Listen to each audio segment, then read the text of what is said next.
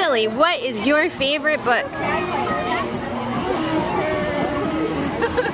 Uncle Wiggly. Uncle Wiggly. And what do you like about Uncle Wiggly?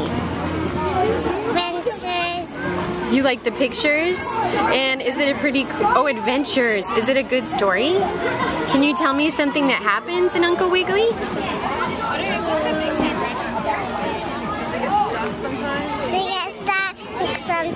Oh my goodness. Is it pretty hilarious? Awesome. Thank you, Lily.